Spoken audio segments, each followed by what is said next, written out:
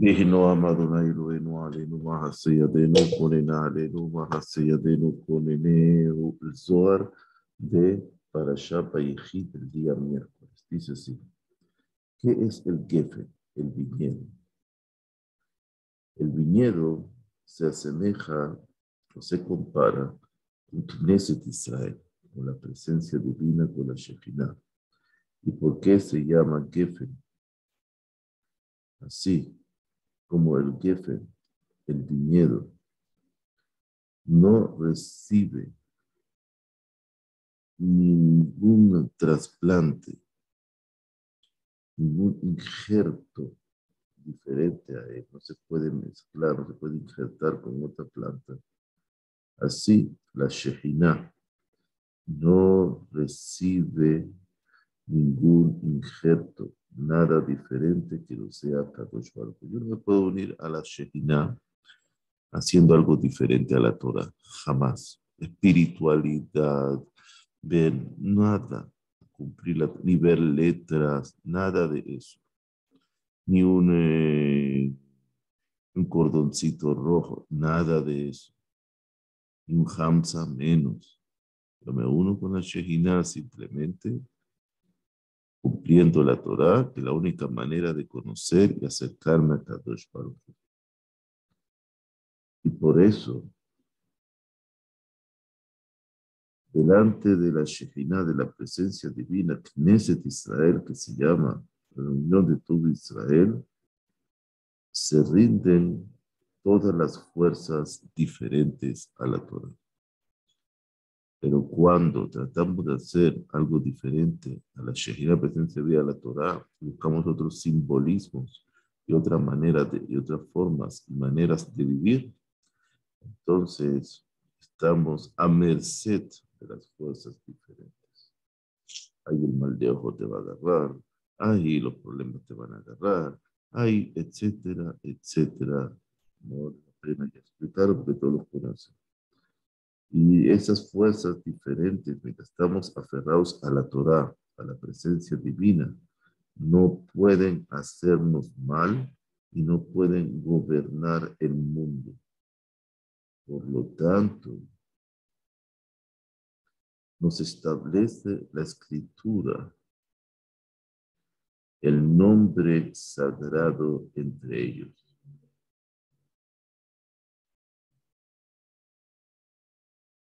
En este lado y en este lado. Es decir, siempre en este lado, lado del bien.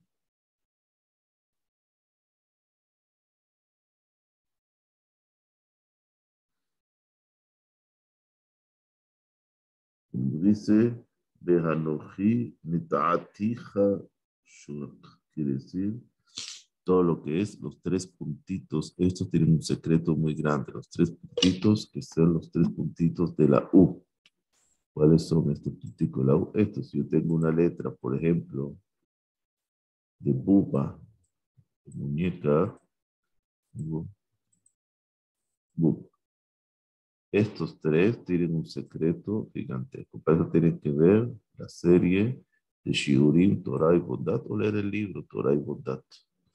Aquí tiene los tres puntitos. Como van de arriba para abajo, abajo representa la Shejina, por supuesto, Knesset Israel.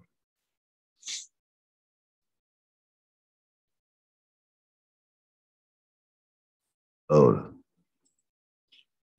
seguimos. Dice, se, se, se lavará en en vino, su vestimenta, etc. Pregunta, ¿se lavará como el que lava la ropa? Dice kives, a veces koves. Kives es el verbo piel, debería ser poal. ¿Por qué está en este, por qué está en este tiempo? Contesta, ves, quiere decir, no es solamente el presente, sino incluye desde la se creó el mundo. ¿Quién es? Ese se refiere al Melech Amashiach de mata. Al rey Mashiach aquí abajo en este mundo que en cada generación nace. Nosotros creemos que nosotros lo estamos esperando, ¿no? Él nos está esperando a nosotros, que nosotros demos una señal de cambio para el venir. Cada generación está con nosotros. El vino, que es rojo, estamos hablando de vino rojo, como que hacemos el kiddush.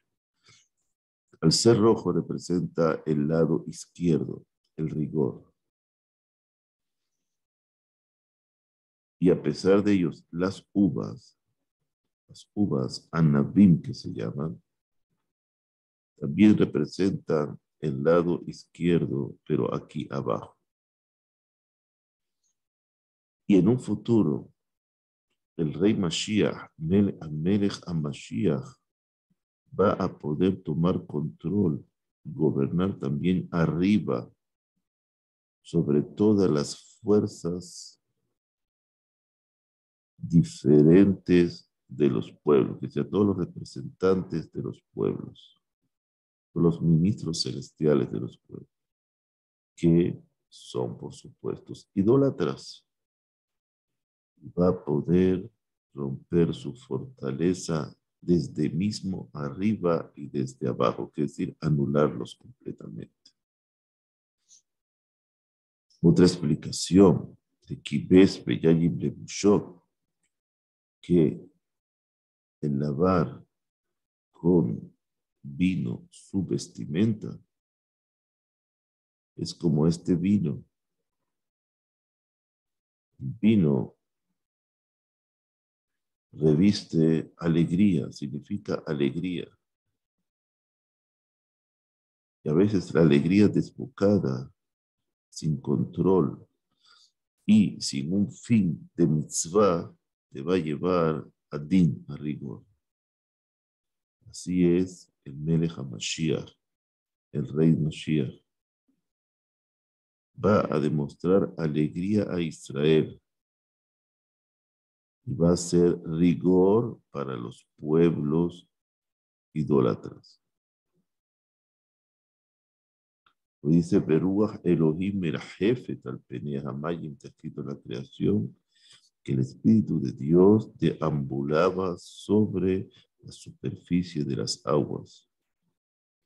Si se refiere, es una señal del Melech HaMashiach, Rey Mashiach, y del día que fue creado el mundo, se está limpiando su vestimenta con el vino superior. Mira lo que está escrito después de eso.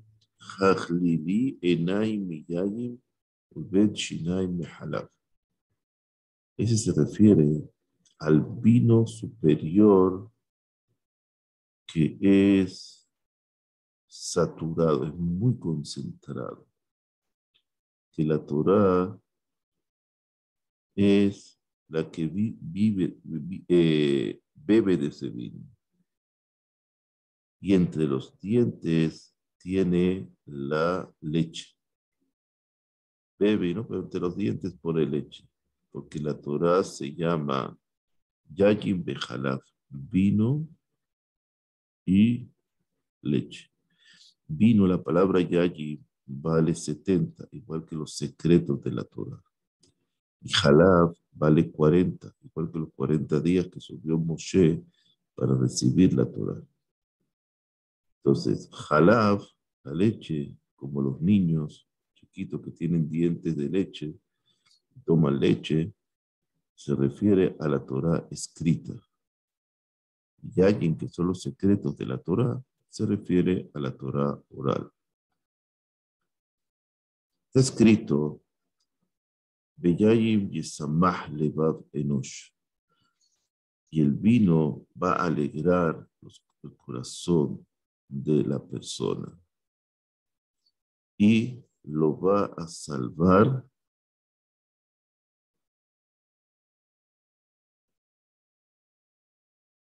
No, lo va a engrandecer.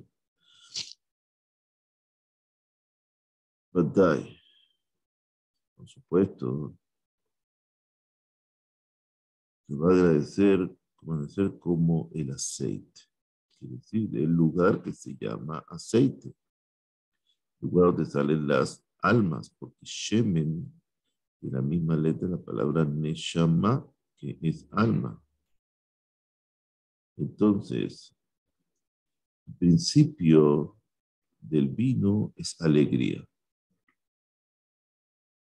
Empieza la gente a alegrarse con el vino. Pero al final, si no sabes manejarte y conducirte en la bebida del vino, terminas con din, con rigor. ¿Cuál es la razón?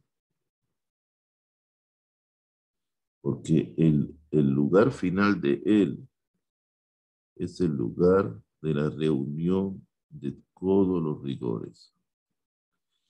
Y en él se empieza a juzgar al mundo. Por eso, al principio es alegría y al final es rigor, din, juicio. Por lo tanto, él va a enseñorear la, el rostro de la persona Misheme, quiere decir como si se pusiera un tónico de, de aceite, como del lugar donde salen todas las alegrías. La persona necesita saber cómo conducirse. Está hablando aquí de los secretos de la Torah. La persona tiene que saber conducirse los secretos de la Torah. Hay cosas que se pueden decir, cosas que no se pueden decir. Hay cosas que uno estudia y no puede hablarlas. Hay cosas que uno tiene que hablar. Otra cosa que uno tiene que demostrarlas. Pero no embriagarse. Jamás decir que él sabe las cosas de la Torah y que es cabalista. Todavía el colmo de los colmos. Porque sabe cuatro conceptos o 120 conceptos, no importa. Levav enosh isat. Pero el pan, el corazón de la persona va a satisfacer y va a dar de alimento. ¿Qué es el lejem, el pan? Estamos hablando del pan que da sustento y satisface, alimenta al mundo. Y si dicen que del pan depende la alimentación del mundo, no es así. porque noche sin día no se encuentra. Es para que el día sea día tiene que tener noche. Y no se necesita separar el día y la noche para que se llame un día, un día. Y el que separa entre ellos está separando la vida porque dice para informarte, para que sepas que no, que no solamente del pan vive la persona. No se necesita separar el pan de lo otro. Y si dices, como dice el rey David en Teilim, Belejem, Levav, At, solamente el pan, va a alimentar el corazón de la persona. Levav no dice lev, dice levav. Quiere decir dos pet, el instinto del bien y el instinto del mal, quiere decir la completitud del corazón. Que no depende solamente de él, el mundo. Ahora, hay que, hay que, hay que ser estricto lo que dice aquí, verlo bien pan, el pan que aparece aquí, tiene una vav que viene aquí en el versículo, velejem, y el pan, no dice pan, dice velejem y pan. Como dice va Hashem. Quiere decir, todo se encuentra junto. La parte, la parte lejem es la parte del pan físico y también lejem la parte de la vav la, la Torah. También a la Torah se le llama pan, porque las dos, el pan material el pan espiritual, alimentan al mundo. Ven y mira. el que bendice sobre la comida no bendecirá jamás cada Amazon con la mesa vacía. Se necesita dejar algo de pan sobre la mesa y también el vaso del vino al lado derecho de la persona que va a decir Amazon. ¿Cuál es la razón? Para unir la izquierda con la derecha. Que el pan se bendiga del vino. Y del vino se bendiga del pan. Y todo será un solo, un solo, una sola unión para, bendir, para bendecir a Hashem el nombre sagrado como debe ser. Porque el vino está unido al pan, el pan al vino, el vino a la derecha, que es izquierda para volverlo a la derecha, que la izquierda del que me está viendo de frente.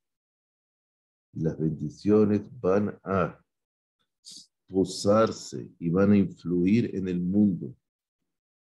Y se considera una mesa completa. Quiere decir que tenemos que tener, cuando decimos Birkat Amazon, el pan y una copa de vino. Como decimos, sobre el pan tiene que recaer la bendición de la Torah escrita que vamos a estudiar y sobre el vino la Torah oral. Que los rigores sirvan a la bondad y no lo contrario, la bondad a rigores. Y así está establecido el alajá. Baruch Hashem de Golam. Amén.